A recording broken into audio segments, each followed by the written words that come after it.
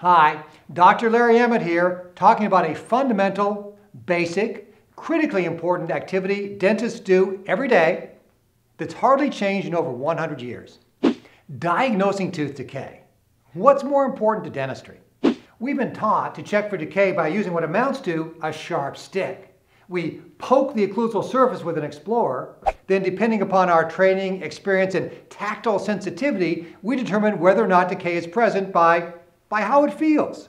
If the pit is small and thin, the explorer will stick, even if there's no decay at the base of the groove.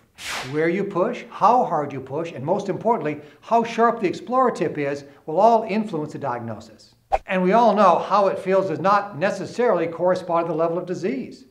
Every dentist has opened a tooth and found there to be significantly more or less decay than expected from the feel of the explorer, or sometimes there's none at all. We also know that pushing with an explorer can damage the tooth structure and introduce bacteria deep into the pits and fissures of the teeth. So at times, we're actually doing more harm than good. You can now replace the sharp stick with a high-tech caries detection device called the Canary.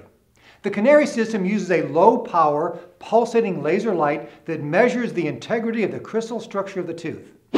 The laser light is absorbed by the tooth and converted into luminescence and a tiny amount of heat. During the five-second scan, the device takes thousands of measurements of reflected heat and light and then converts them into the Canary number. This lets you evaluate the crystal structure of the enamel to determine the presence and extent of tooth decay. Canary can detect decay on smooth enamel surfaces, root surfaces, biting surfaces, between teeth, and even around existing amalgam and composite fillings, up to five millimeters deep.